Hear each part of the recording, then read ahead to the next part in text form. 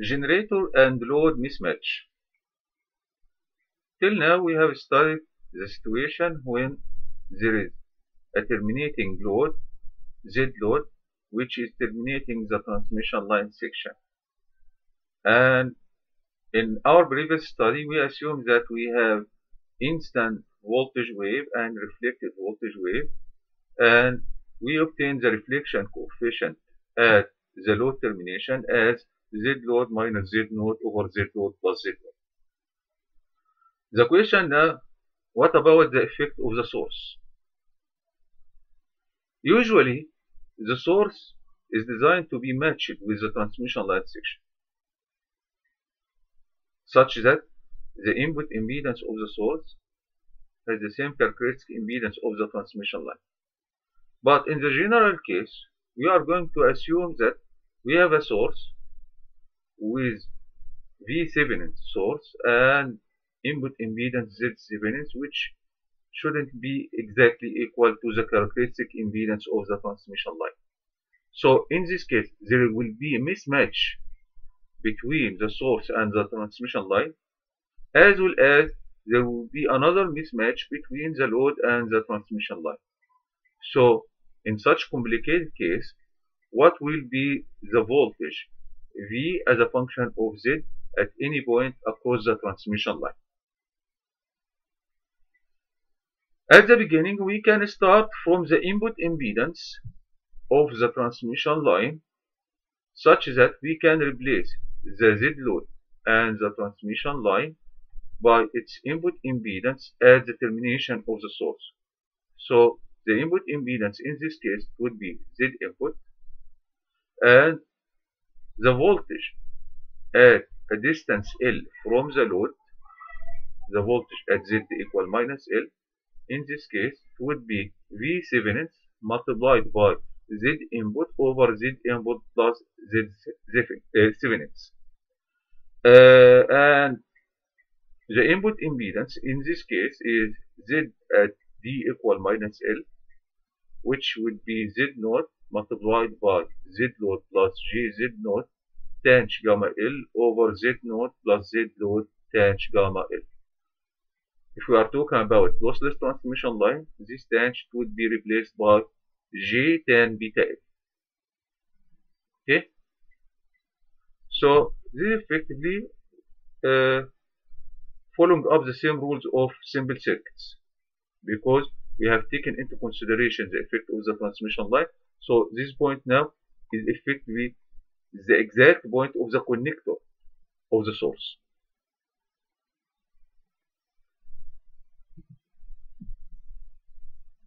The voltage at any point along the transmission line in terms of the reflection coefficient at the load, we have proven that it was given by V naught plus the amplitude of the incident voltage e to the power minus gamma z, the forward propagation function, multiplied by 1 plus gamma load e to the power 2 gamma z, where gamma load is z load minus z naught over z load plus z. So, at z equal minus L, and z equal minus L which correspond to the terminal of uh, the source at z equal minus L the voltage it would be V naught plus E multiplied by gamma multiplied by Z which equal minus L so it would be minus minus would be gamma L plus 1 plus the reflection coefficient gamma L e to the power plus 2 gamma multiplied by minus L so it would be E2 minus gamma 2 gamma L. And the voltage at Z equal minus L is effectively the voltage at the termination of the source which equal V Thevenin multiplied by Zn over Zn plus Z Thevenin. So in this case we can say that the amplitude of the incident voltage it can be determined in terms of the amplitude of the source as V naught plus would equal V Thevenin's multiplied by Z input over Z input plus Z Thevenin's multiplied by e to the power minus gamma L multiplied by 1 over 1 plus gamma L e multiplied uh, by, uh, gamma L multiplied by e to the power minus 2 gamma L. So this is the voltage or the amplitude of the incident voltage. In this case, in terms of the voltage of the source, the input impedance at the source, and the impedance or the internal impedance of the source, the length of the transmission line, and the reflection coefficient at the load.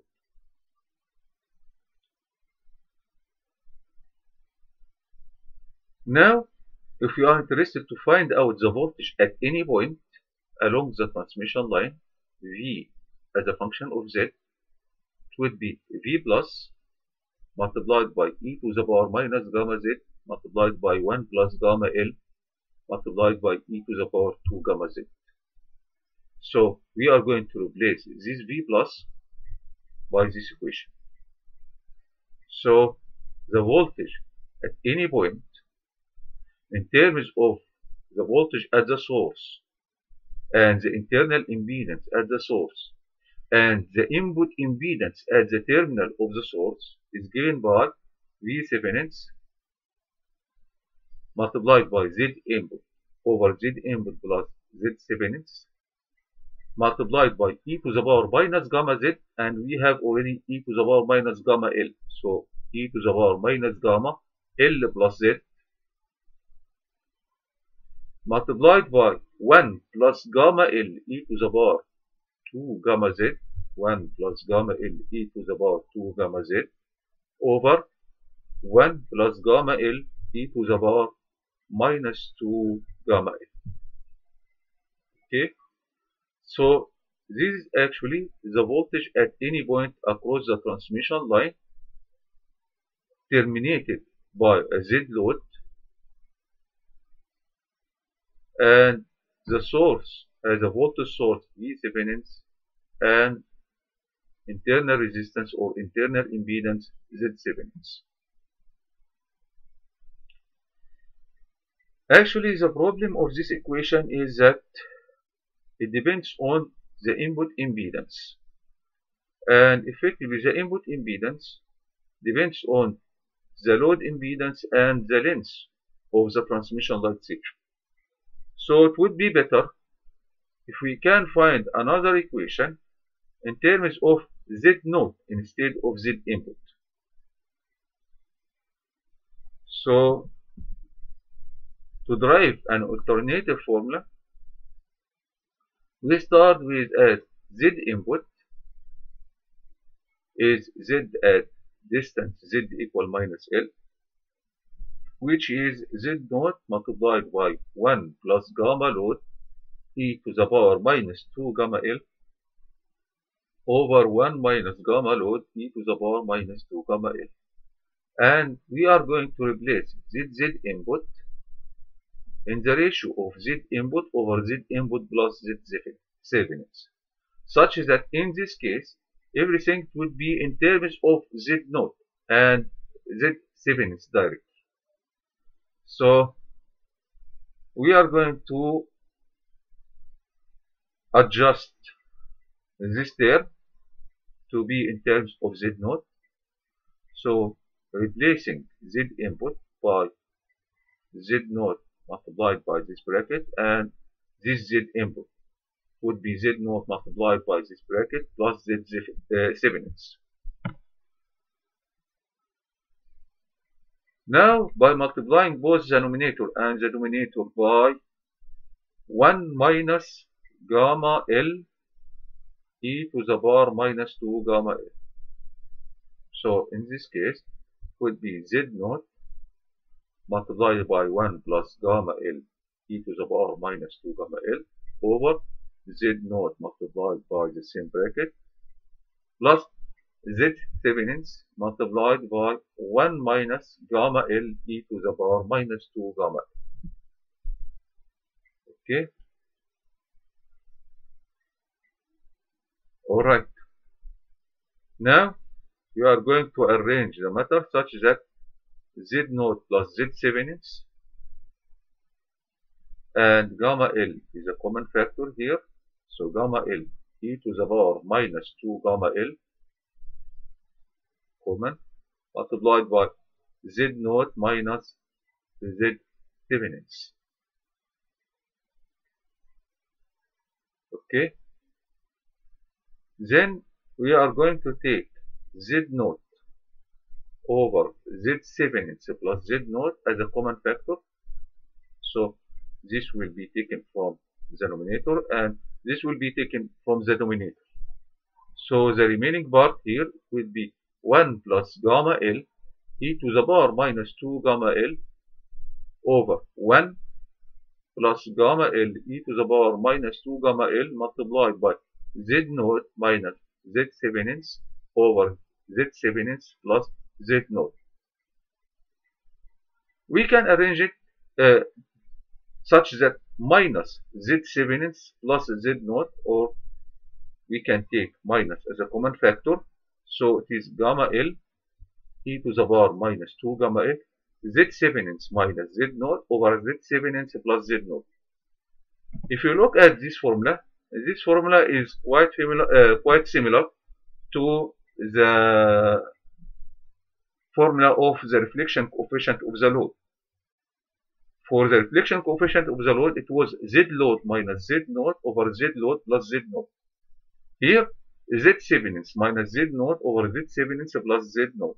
So effectively, this ratio corresponds to the reflection coefficient of the source. The reflection coefficient of the source with respect to the characteristic impedance of the transmission line. So in this case, we can replace this by gamma source. That's what we see here.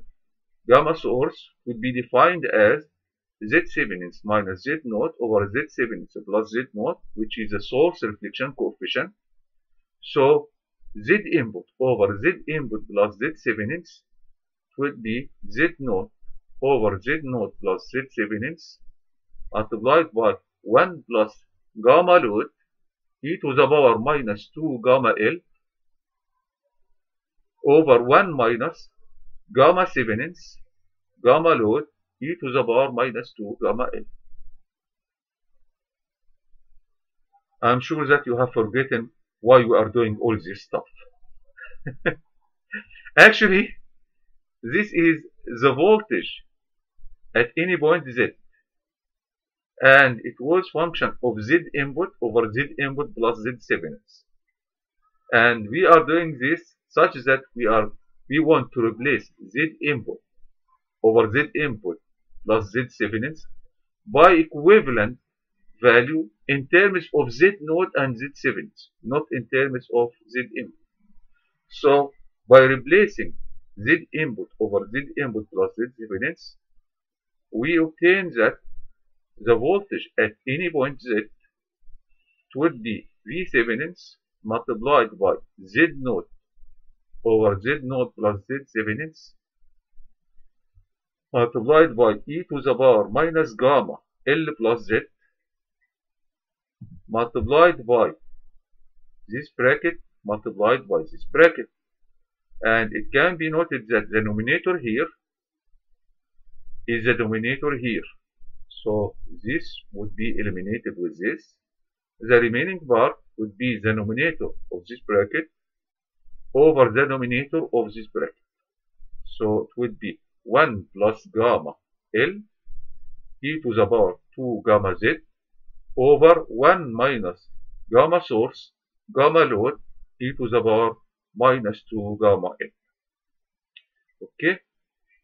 So effectively, the equation now, the voltage at any point is obtained in terms of the voltage of the source, the characteristic impedance of the transmission line, the internal impedance of the source, the reflection coefficient at the load and the reflection coefficient at the source. Okay? effectively the first term this corresponds to the initial voltage wave that would exist if there is no reflection from the load. So assuming that we have infinite transmission line without any load, so the input impedance that appears from this transmission line, this infinite transmission line, it would be Z naught. So in this case, the voltage at any point, it would be V Thevenin's multiplied by Z naught over Z naught plus Z Thevenin's multiplied by the propagation constant e to the power minus gamma Z minus minus L, where the location at this point is Z equal minus L. So this term corresponds to the wave that starts from the source which propagate along the transmission line assuming that this transmission line is infinite and there is no reflection at all. But because this transmission line is finite and is terminated with a load which introduce some reflection, so this initial voltage will travel until it reaches to the load, then some of the power will be matched or will be absorbed by the load and some of the power will be reflected. So some of the power will be reflected towards the source. This part of the bar which is reflected to the source, some of it will be absorbed by the source and some of it will be reflected from the source due to the mismatch between the source and the transmission line. So this will be reflected once again. This reflected once again it will be propagated towards the load. So some of the part of this power will be absorbed by the load and some of it would be reflected once again.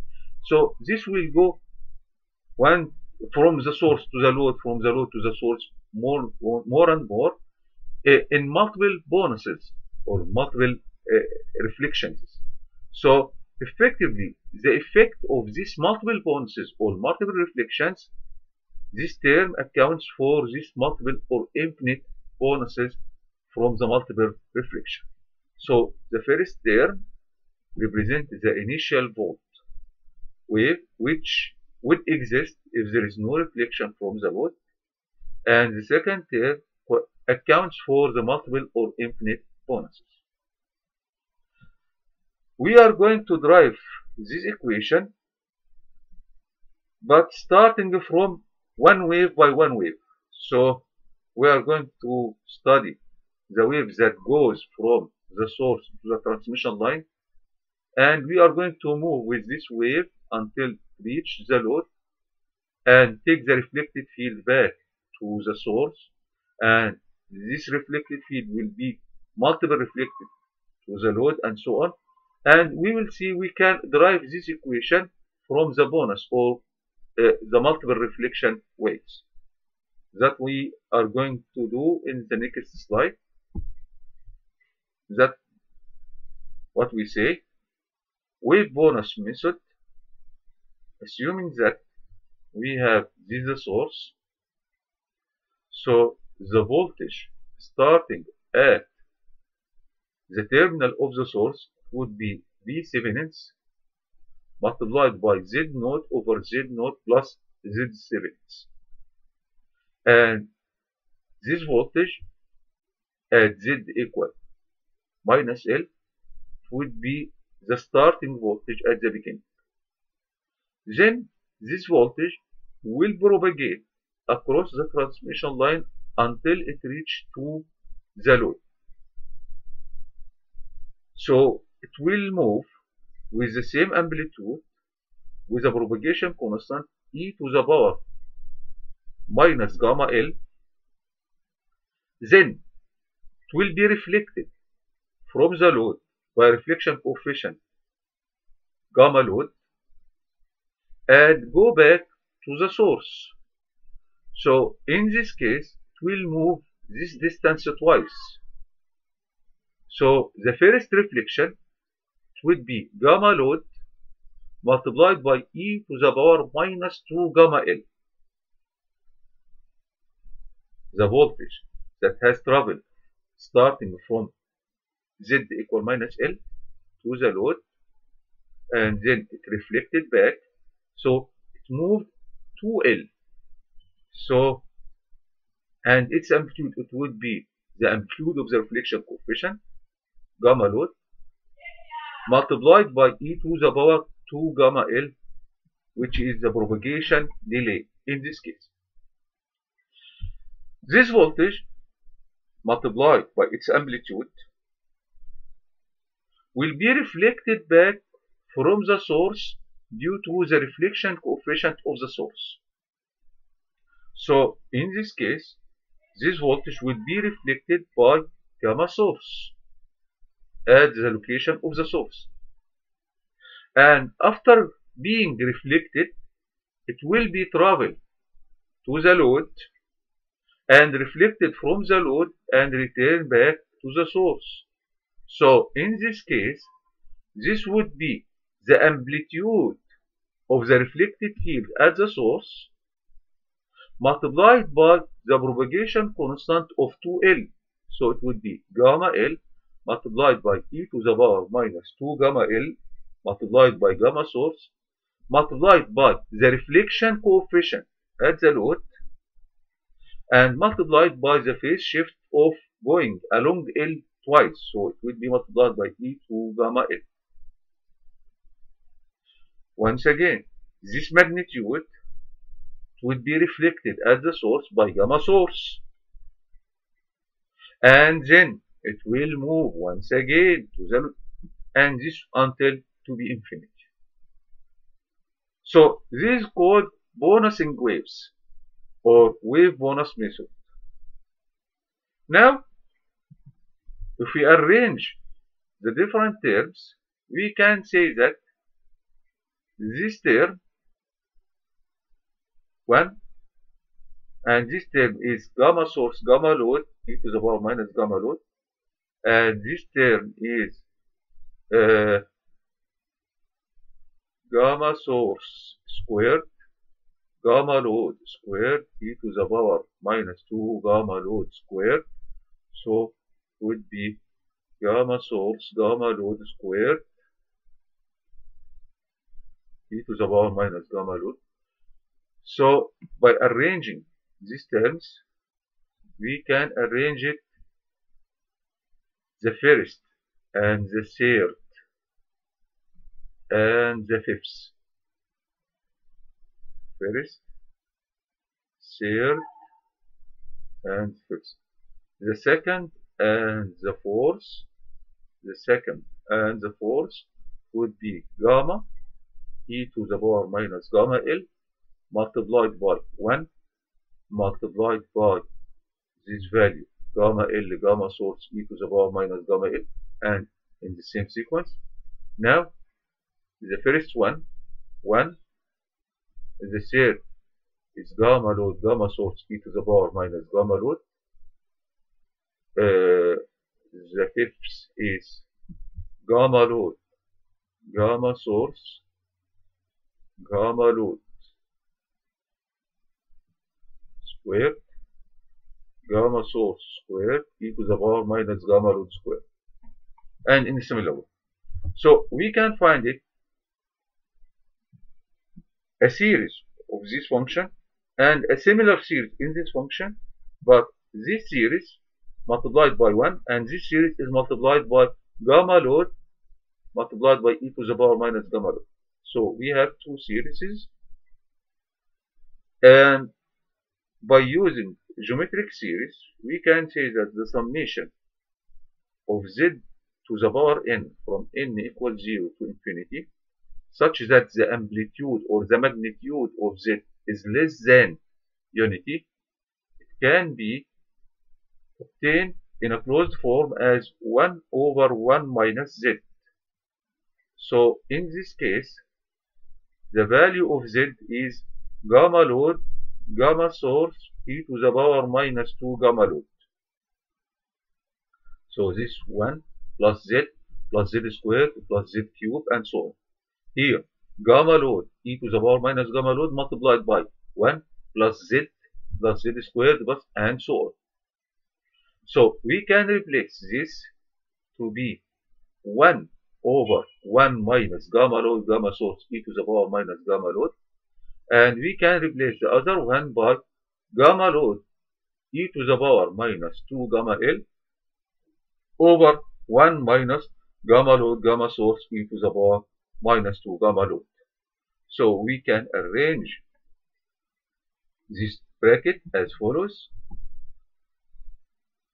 The voltage at Z equal minus L would be V Thevenin's multiplied by Z naught over Z naught plus Z Thevenin's multiplied by 1 over 1 minus gamma load gamma source e to the power minus 2 gamma load which is 1 over 1 minus z plus gamma load e to the power minus 2 gamma d multiplied by 1 over 1 minus z where z is gamma root gamma source e to the power minus gamma root. Now by arranging this, we can say it is 1 plus gamma root e to the power minus 2 gamma root over 1 minus gamma root gamma source e to the power minus 2 gamma root. Effectively, this result is exactly the same result which we have obtained before, but this result is obtained by bouncing waves and from a mathematical point of view, the two proofs are the same, but usually we use the proof by using the reflection coefficient not bouncing, but the bouncing is quite useful to understand the physical meaning, what is happening inside the transmission line from the source and from the load. It is interesting to note here that if the source is matched to the transmission line, so gamma source is zero, so in this case, the voltage will depend only on gamma loads. And this is actually the actual case uh, which happen in uh, practical cases because usually we design the source to be matched with the transmission lines. Okay, so till now we have studied the reflection from the load and the reflection from the source in the general case to obtain the voltage at any point along the transmission line. Alright? Okay.